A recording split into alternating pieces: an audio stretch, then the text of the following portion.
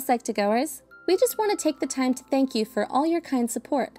We are a team of dedicated, passionate, and hardworking individuals who come together every day with one goal in mind. We want to make psychology come alive for you. Psychologists have reported that within the past 10 years, there has been a rise in mistrust between partners in romantic relationships.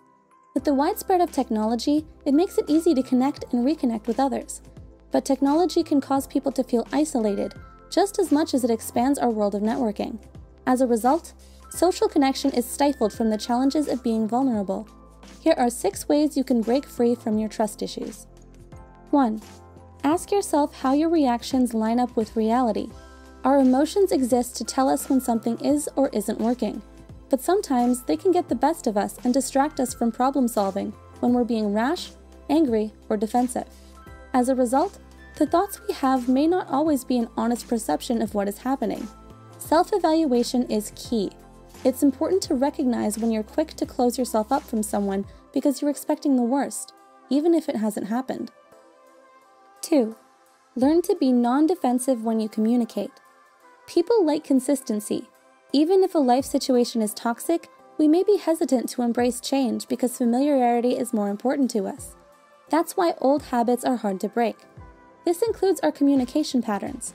Learn to be non defensive by trying to understand where the other person is coming from. Ask yourself if they're an actual threat, or if that's what you've been training yourself to believe. Chances are, people take the time to talk to you because they care about you, not because they want to hurt you. 3. Let people know what you need and be direct about it. Communication is a two way street. People aren't mind readers. Dropping hints and expecting people to play detective is only going to set you up for disappointment. In order to build trust, you have to be open and honest. People often have trust issues because they are afraid of getting hurt. This is why we build up walls to protect ourselves. But getting hurt is part of the process of growing and cultivating deep relationships. Trust issues are developed when too much focus is concentrated on the pain, but not enough on overcoming the pain. 4. Give people a chance to show you who they are. We live in an era of instant gratification. We want relationships to be easy and immediate. But people aren't vending machines, and building trust doesn't just happen when we want it to.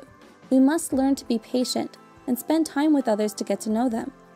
People often try to look for perfection when they have trust issues. As a result, they may seek perfection in others in order to avoid conflict. But superficial relationships aren't fulfilling nor healthy for making social connections. Give people time to show you their true colors, and you may be surprised that you can go through challenges well together. 5. Practice open ended conversations that allow disagreements. It's easy to fall into the trap of anger or bottling our thoughts because we don't want to rock the boat.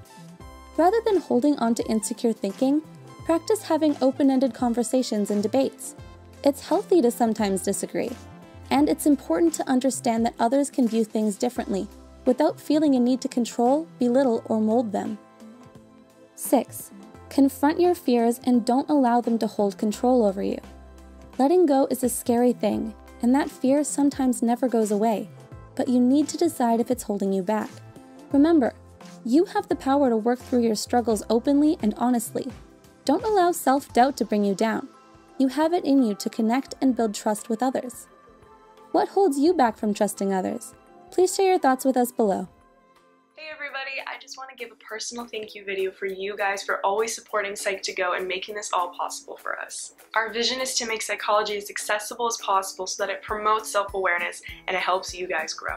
However, we want to make more content for you guys and would love your support in buying one of these bracelets from our partner, Introvert Palace. Check out the bracelet, it's pretty cool and it even includes Pluto. The link to purchase will all be in the description below and I hope you guys have an amazing day. Bye!